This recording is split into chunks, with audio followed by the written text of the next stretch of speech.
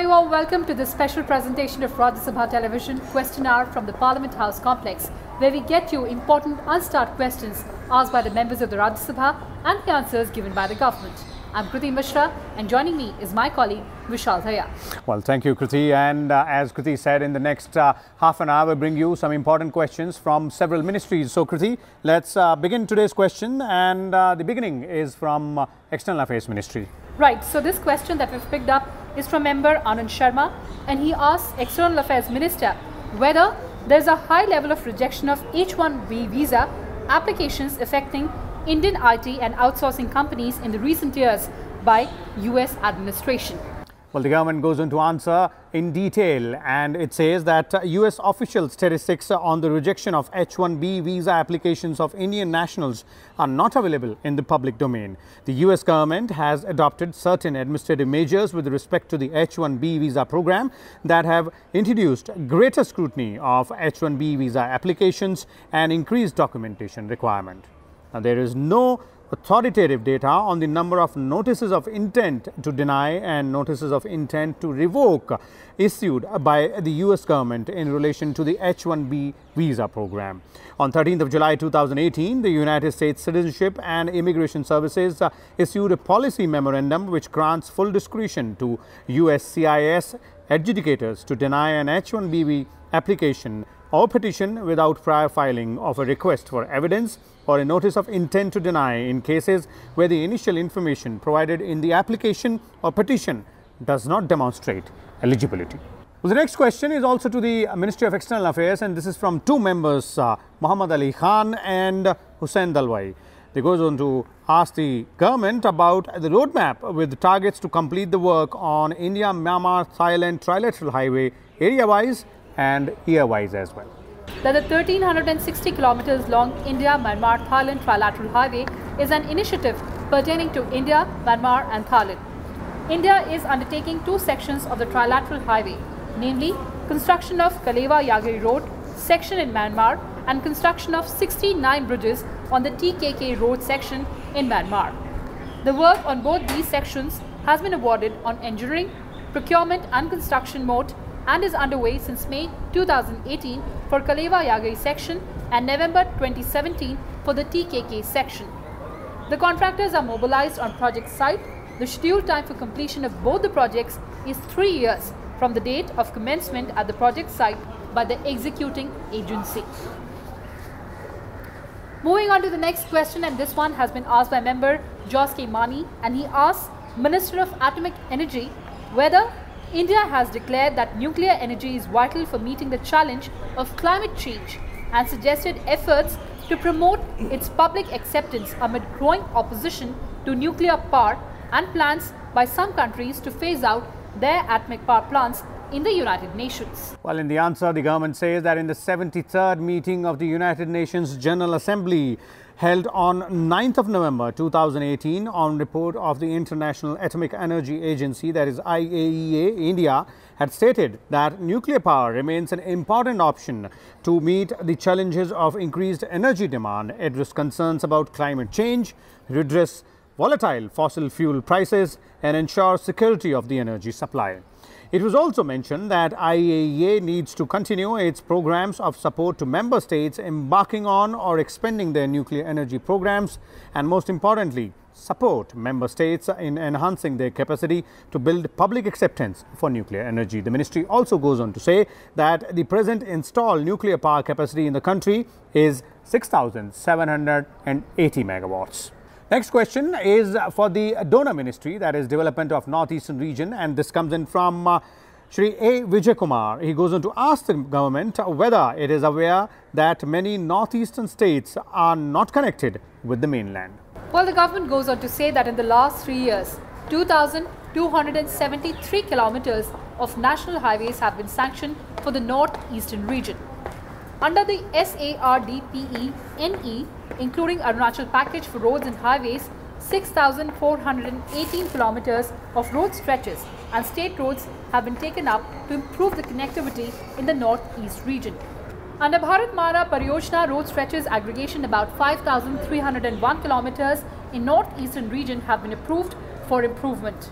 Out of this, 3,246 kilometers road length has been approved for development of economic corridors in the northeast. The next question is from member BK Hariprasad and this one pertains to the Ministry of Human Resource Development and he asked whether it is a fact that there is an absolute communication gap with regard to placement of graduate candidates for employment. Well, in the answer, the Ministry of Human Resource says that it is working uh, systematically with Ministry of Skill Development and Entrepreneurship, Department of Science and Technology and Ministry of Labour and Employment in order to improve the employment potential for placement of graduate candidates. Now, for this uh, purpose, uh, scheme is proposed to be launched by providing apprenticeship opportunities to the degree students. The details of the scheme are being worked out as of now. The ministry also says that uh, UGC has issued a quality mandate in which all the universities have been asked to coordinate with the industry and service sectors so as to improve the employability of the students uh, by 2022. Well, the next question is uh, from member A.K. Selvaraj, who goes on to ask the Women and Child Development Ministry whether it is a fact that Rajesh Bindal Committee has recommended action against the Hague Treaty. Well, the government goes on to say that a multi-member committee has been constituted under the chairmanship of the head of Chandigarh Judicial Academy, Chandigarh, to examine and comment on different aspects involved in the issue.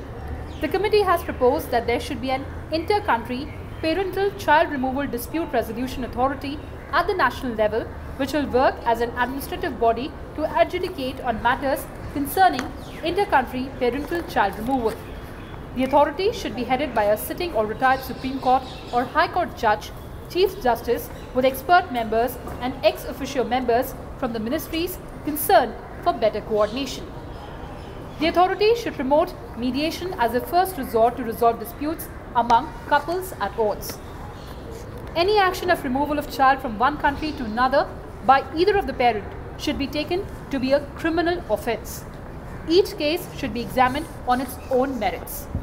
To monitor working under the proposed legislation, the state legal services authorities and district legal services authorities may be involved. As of now, India has not signed the Hague Convention on Child Abduction. So the next question is from member Dr. Vikas Mahatme and this one is to the Ministry of Tourism and he asks whether there have been any submissions regarding specific regions made by the states for the rural circuit under the Swadesh Darshan scheme and if so, the details thereof. Well, the ministry replies in detail and says that uh, rural circuit has been identified as one of the 15 thematic circuits for development under Swadesh Darshan scheme. Now, the projects under the scheme are identified for development in consultation uh, with the state governments, union territory administrators and are sanctioned subject to availability of funds, submission of suitable detailed project reports, adherence to scheme guidelines and utilization of funds released earlier as well. The projects sanctioned under the scheme are under various stages of implementation and once completed, the same would lead to enhanced tourist experience and increased tourist footfalls, which in turn would help to increase revenue from the tourism sector. And in fact, just a short while back, my colleague Kriti Mishra spoke to the member Vikas Mahatme about the response he's got from the government on his question. Let's listen in. Well, Vishal, Member Parliament Dr. Vikas Mahatme is joining us on Question Hour now. Welcome to Rajya Television, sir. आपने काफ़ी ही महत्वपूर्ण सवाल पूछा है tourism को लेकर tourism किसी भी इकोनॉमी या किसी भी देश के लिए बेहद ज़रूरी होता है और खासकर अगर हम भारत की बात करें तो टूरिज़्म पर काफ़ी फोकस किया गया है और सरकार ने भी आपका जो सवाल है उसको लेकर विस्तार से जवाब दिया है क्या कहेंगे आप टूरिज़्म इंडस्ट्री का बहुत इम्पोर्टेंट महत्व इसलिए है कि जैसे आपने कहा कि पैसा भी आएगा, कल्चर भी लोगों को पता चलेगा, क्योंकि बहुत बार न्यूज़ से लोगों को लगता है कि इंडिया में बहुत सारी परेशानियाँ हैं, लेकिन वैसा नहीं, हमारा कल्चर एक बहुत स्ट्रांग है अच्छा है, हम सबको साथ में लेके जाते हैं।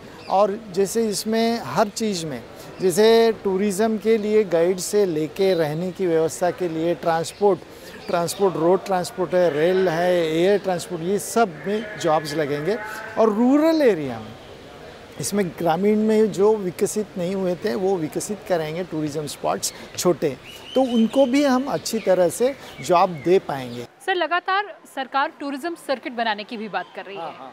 जो कल्चर पे भी फोकस होगा, जो रिलीजन पर भी फोकस होगा, जो डिफरेंट फेथ हैं, उस पर भी फोकस होगा, उससे कितना आप फ़ायदा देखते हैं? हर फेथ के लिए एक सर्किट की आवश्यकता इसलिए कि वैसे भी लोग जाना चाहते हैं, लेकिन उनको हर बार एक जगह जाना, वापस आना, फिर से दूसरी जगह के लिए जाना, वापस आना, इससे अच्छा ये सर्किट पूरा हो जाए। तो ज़्यादा से ज़्यादा टूरिज़्म भी होगा, उनकी जो मनीषा है वो भी पूर्ण होगी, उनको भी अच्छा लगेगा और टूरिज़्म से, अभी हमने जैसे कहा कि लोगों को जॉब मिलता है। ये बहुत महत्वपूर्ण है। और जब हम बोलते हैं कि एक भारत एक भारत यानी ऐसा नहीं हो सकता है कि हम ये कोई कहीं भारत में गया ही नहीं और अपने गाँव में है और वो कभी घूमा नहीं। फिर भी हम उसको उसकी प्रेरणा हो एक भारत की जब वो घूमता है हर जगह जाता है तो अपने आप सबसे मन से दिल से जुड़ता है ये एक बहुत महत्वपूर्ण है और मुझे लगता है ये दिल से जुड़ना बहुत ज़रूरी है और इसके लिए ये सर्किट्स होना बहुत ज़रूरी है जो सरकार ने काम शुरू किया है वो बहुत अच्छा है और जिससे हम कह सकेंगे कि एक भारत सुदृढ़ Bharat Right, sir. Point well taken. Thank you so much for talking to Raj Sabha Television.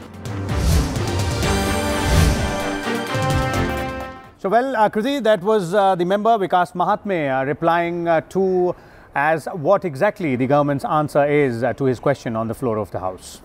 Well, that's all Vishal and I had for you in this session of Question Hour. Prashnikal with our colleagues Akhilesh Suman and Arvind Singh on the other side. Stay tuned to Rajya Sabha Television.